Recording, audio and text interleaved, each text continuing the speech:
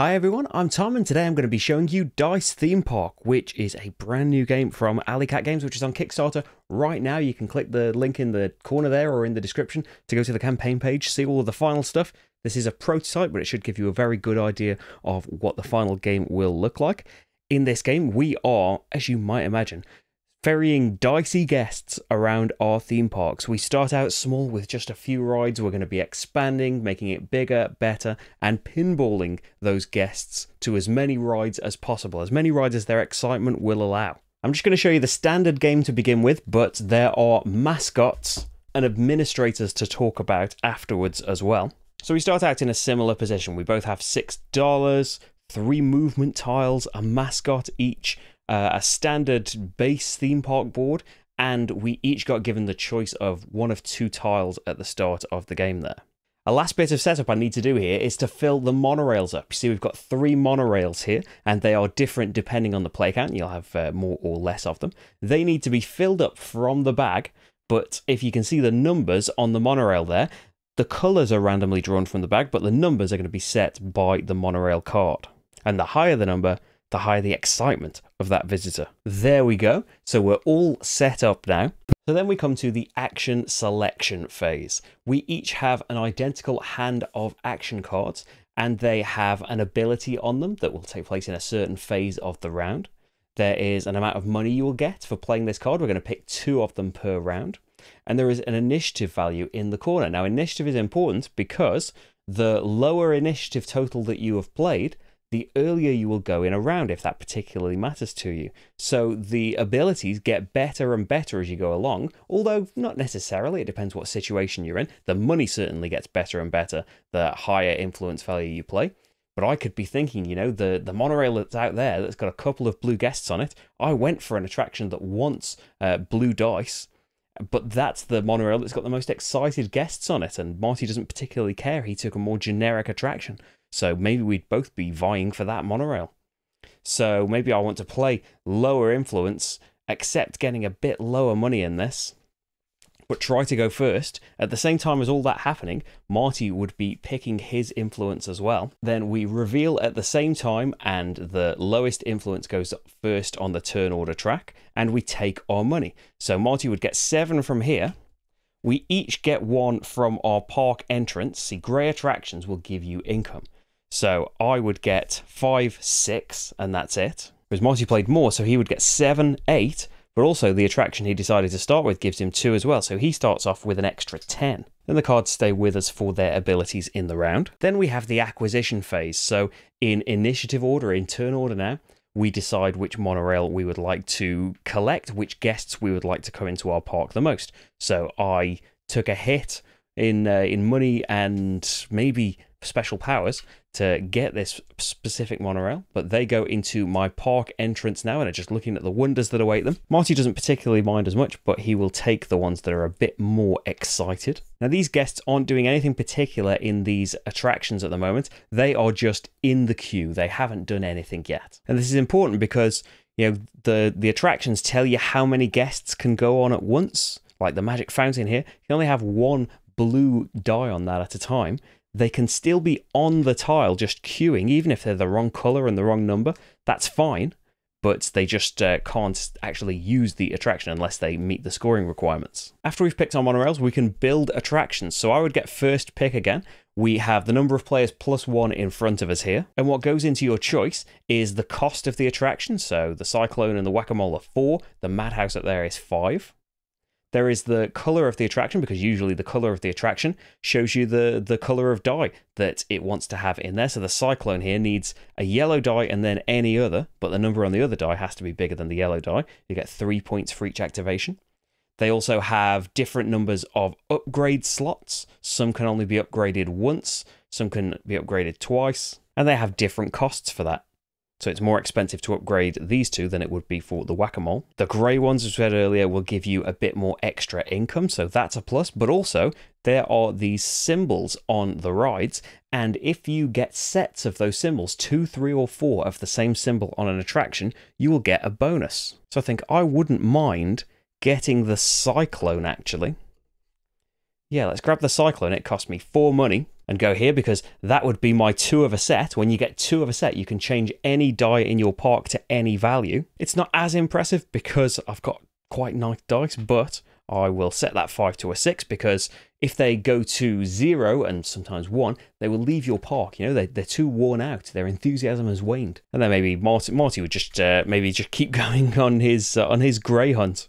If you get three of the same icon, you can draw a new die from the bag and put it in your entrance at value 4. And if you get four of the same icon, you can grab an attraction from the discard pile and put it in your park for free. Next, we have the maintenance actions where we can buy upgrades for our attractions. Now, you see that the park entrance here has two upgrades already built at the start of the game.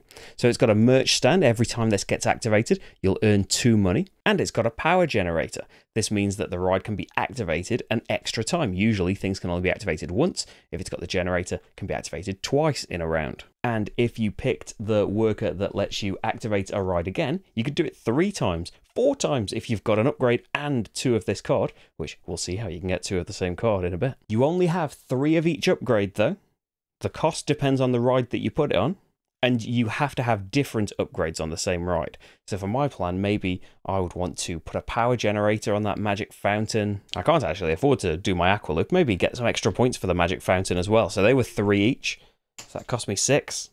And Marty could do some upgrades on something that's better. Separate from all of that, you can also buy one extra movement token each round. A movement token will move a die one space in your park because you'll want them in specific places, especially as you get further into the game. A movement token costs $3. You can also buy an extra mascot token. In the basic game, the mascot tokens can be played onto a tile to increase a guest die or decrease it by one. And they can change the colour of a die temporarily. They change the number permanently. The mascots are $5, so I couldn't afford anything. Maybe, you know, Marty, since he went for all of the money, could afford to grab some more movement. And then we have the activation phase. This is where everyone starts using their rides. And in a lot of these phases, things can happen simultaneously. You know, doing your upgrades, it doesn't matter what everyone else is doing, doing your activations.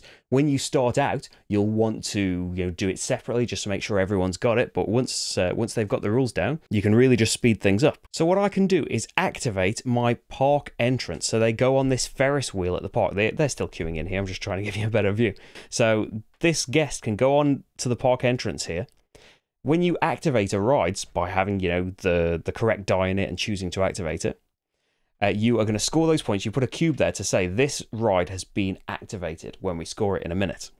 One of the guests that just used the ride has to move to an adjacent ride, and everyone that just used the ride will decrease in excitement by one. So this works for me because this guest can go over to the magic fountain, which wants blue dice. Uh, so they could stay in the park entrance. And as a matter of fact, I could just use the park entrance again because it's got a power generator. So put another activation cube on it and do the exact same thing. The magic fountain just wants a blue die on it, so we could just use one of these. It ticks down to a four, which is quite nice actually, because this wants a an odd blue die and an even grey die. Now I did upgrade the magic fountain so I could do that twice. So this blue die could roll over here, and then I could use my mascot to boost one of them back up to a five. So now I've got a blue odd, and then doesn't matter what color, even. So we can activate the aqua loop, which is going to be four points. Everyone ticks down one, so this goes to a four and a three, and then someone has to leave. Uh, so I think it'll be the higher number one here because I can't do the park entrance again, but I can expend a movement token just temporarily to move this guest onto the mini train that wants yellow dice. Activate that, then they tick down to a 3 and move to a different attraction. And now on the Cyclone, a, any yellow die and any other die that is a bigger number. That's fine, that's ready. So the Cyclone can go on there. They both tick down, so it'll be a 3 and a 2. But you know what? We could I could just send the yellow 2 over there. Now, I've got no more activations for any of these things. The only thing that could be activated is Spooky Forest, and I've got no green dice or anyone anywhere near there for that matter. So can't activate any more. But next round now, no matter what new guests I get, the Aqua Loop is ready to be activated immediately. I won't go through all of Marty's as well. This was supposed to be a quick overview. I'm getting too into this. Uh, so now we we score our things. So you can just look at the cubes that are on the rides, and so I can see that I've got one, two points, and for each activation, because it's got a merch stand on here, I also get two money. So I can grab two points. You can pop them on here to remind you that you have already scored this attraction. And then the magic fountain gets two extra points because it's got the special effects upgrade for each time it was upgraded. So instead of just one per time, it's three. So three six points there. The Aqua Loop has no upgrades, got activated once, so that would be four points. And the Cyclone got activated once, and that is three points. So there we go. Now we've activated everything, we can take the activation cubes off and then just gather up all your points. So I've got 3, 5, 7, 9, 11, 13, 15, and you can mark your score on the score track and then pop the tokens back. In later rounds, there are objectives. You can play a short game, by the way, where you only have four rounds but this is the full five round game. There will be objectives later on that would get scored now. So you want the, the least amount of money in a two player game. The person who has the least amount of money after we've uh, added all the money we've just earned from activation our park. From activating our park would get four points. And there's highest excitement, so you would total up all of the pips of all of the people that are still in your park, and most guests, so just most number of dice that are still in your park. There are also more objectives and the opposite of all of these objectives as well. You can't have the opposites in the same game, so you don't want least guests and then most guests, but they're all different options that uh, can be combined together. Now, if any of your dice happen to tick down to zero in the activation phase, they leave your park at that point. But now in the new round setup, if there are any visitors in your park that are at a 1, luckily I haven't done that, any visitors at a 1 at the end of a round decide, you know, they're getting tired, they are going to leave too, so they would be removed from your park as well. Unless you brought in this worker, which will let you take one of those ones and put them back at your entrance at a 4. There's also a worker that would let you move a guest to any other ride for free. Doesn't have to be adjacent, doesn't cost a movement token. Uh, make all of your mascots this turn, uh, do an extra plus one or minus one when they're activated, uh, activate a ride an additional time.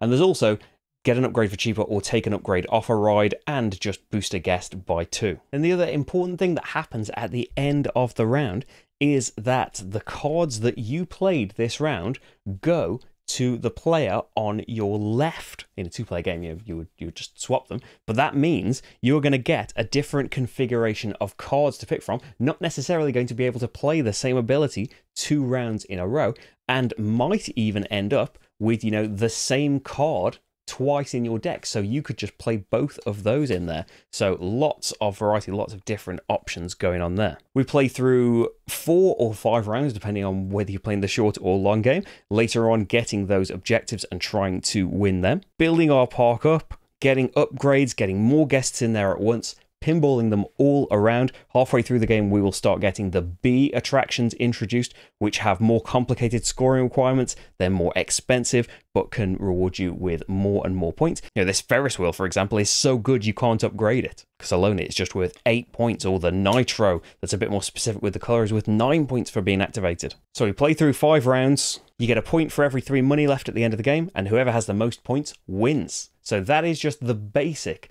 game of Dice Theme Park. There are also administrator cards that can let you have a, a special power at the start of the game rather than just um, being, you know, you're different based on the, the ride that you started with, but you can have your own special power. So you would get dealt two of these at the start of a game and pick one of them. You can only use administrators, by the way, in the long game, the five round game, but um, this would let me you know, when I activate, uh, every time I activate a blue attraction, has to be a blue attraction, I can not tick down one of the guests that used it. Or this one is how many green attractions you activated this round, get some extra points. And there's also, you know, bring uh, one blue one back to your entrance every round. You don't have to have played that card to do it. Loads of different powers in those. And then there are also the mascot tricks. So we have this big deck of cards with all sorts of powers for your mascots. They keep their ability to move the numbers up or down by one or temporarily change colours of guests, But as well as having, you know, a display of attractions at the start of a round, we will also have a display of mascot tricks. So thematically, they're tricks that they can do, but they have special effects on the guests. You start the game with a mascot trick for your starting mascot, but also when you buy a mascot for $5, they come onto their trick card. And so you know that when you play this mascot, you can either just do its generic thing or you can do its special power. For the ones I've drawn here, Snapshot, if it's played onto an attraction that's got a yellow die on it, you can boost it by plus two, minus two, instead of just the standard amount. Even more, if you play that special ability card. Special guest you play to an attraction and get $2 for every green die on that attraction. Water Fight will get you a point for every green on an attraction. Flip a yellow die pop this mascot on an attraction and then bring two guests from adjacent rides onto this attraction. Move a guest up to two spaces away. So many options. And I'm sure there will be even more to see over on the campaign page. So I'm going to leave it there. You can find out more over there if you would like to see some of the final stuff. If you're not particularly fussed about what I think, no worries. I will see you for the next game. But if you would like to know, stick around. So, what do I think of Dice Theme Park? With the usual caveats of this is just a prototype. I was paid to make the overview video. I love Dice Hospital and plenty of Alley Cat games. If you go back and look at my history, I know it's early days and that I should be more restrained, but I feel like this is my favorite and or is going to be my favorite when I get my hands on the final version. You know, it shares things with Dice Hospital in the ticking up and down of your dice, in the starting off with this base and adding different rooms to the hospital or attractions to the theme park, getting different specialists in hospital and mascots in this with their own special powers that can influence the guests that you want as well as the extra tiles that you've got will influence that and the ways that you can play and just what you are allowed to do here. But and as much as I love that puzzle of in, in Dice Hospital, it's very much about trying to discharge as many guests as you can at the same time. You can get massive points bonuses the more you can discharge in one go. In Dice Theme Park, it's you know, incredibly thematically, is all about trying to keep these guests in your park for as long as possible. You know, every time it looks like they're getting a bit fed up of being in here, going to show them a mascot to boost their spirits up a little bit and just stay for one more ride, uh, put a bit more money in, get uh, get a few more points what at the start of the game seems like a, a, cool but simpler puzzle of just okay well i need this die here so i'll get that there yep, I can I can make a little path to this. Suddenly kind of starts to explode as soon as you start to upgrade your rides and let them be worth more or be activated more times. But then the number of upgrades you can do is so limited you've got to really watch out where you put them there. Although if you take certain workers you'll be able to remove upgrades. So if you put them early on on your rides that you just wanted to get get guests off your entrance. You know, activating rides is as good as having movement things. It does tick your guests down, but it gets them moving around the park. Later on, when you've got a lot of guests in your park, maybe you want to try and keep them in the better areas. So you'll want them to be able to be activated more often. Just this, and I've I'm sure I've said it a million times already in the overview part, this pinballing of the guest between these rides that can be activated multiple times, and just seeing that, oh, I've made a nice path of blues there, but Actually, any die can go in the mini train now, so why not have them go there next? And now I can activate this, and the yellow can go to this ride, and maybe join up with these and activate this now. And oh, I haven't quite got the right dice for this, but I've got some movement tokens left over, so let's move them over there. Or I've got I've got the tour guide that can let this die move two spaces in one go. So let's use that here rather than boosting up a die instead. Uh, I'll say that you know just just the the standard game has got loads of those elements in it. I do love it the most when it's all turned on and you've got the the administrator is a nice little extra right from the start, maybe giving you a bit of a nudge towards getting yellow attractions and guests, for example. But once you start getting your mascot tricks and getting more of them, just like in Dice Hospital when you started getting your array of specialists and starting to see what you're really good at and how you can leverage all them the most. It works just the same with having these different mascot tricks in there, just how you can you can always use them for the for their basic ability of just boosting your dice or changing their color temporarily if you're really in a pinch. You've got the set collection parts of the attractions that can give you great bonuses if you're willing to maybe go a bit outside your comfort zone and get a, a attraction that maybe you wouldn't otherwise have gotten. but it might let you build a get another guest or build a free attraction. So many parts of it can happen simultaneously as well. So once you have gotten to grips with the game, uh, loads of the phases can just go by really quickly, uh, even simultaneously. I say I take a fair bit of time with the actual uh, activation phase, but that's where all of the meat and uh, and most of the joy of the game is for me of working out where these are going to bounce next where I can get them in the best position to keep activating as many things as possible. You know, when we first uh, were learning the game and cracked it out and saw the the administrator that's well, you want us to act, act, eight activations for extra points. How are we ever going to activate that many times? And then you start to see, oh, it's because they're just going to keep pinballing backwards and forwards to these rides. And if we have those right combinations of guests and we've leveraged them properly, even early on in the game, you can start to do loads of attractions. I mean, what did I do in that example? I did like two, four, five, six.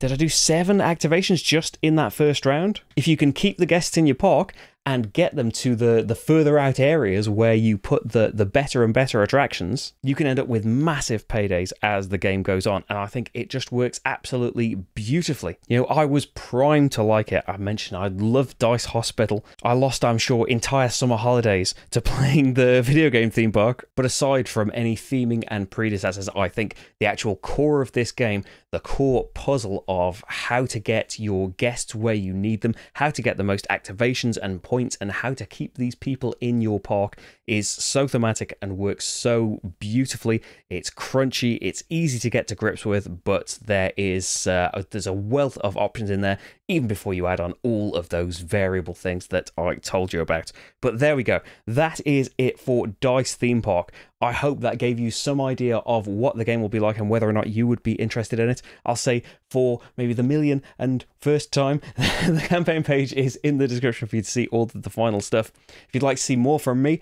hey, I've made loads of videos. You could see my multiple videos about uh, I was going to say Theme Hospital, Dice Hospital, uh, which could be linked about. There's, there's like 450 playthroughs on this channel. If you'd like to keep, help me keep making more, it's uh, mostly supported through my Patreon account. That's linked in the description as well. But I've kept you for long enough. I'll let you go. Thank you very much for watching, and I'll see you for the next game. Bye, everyone.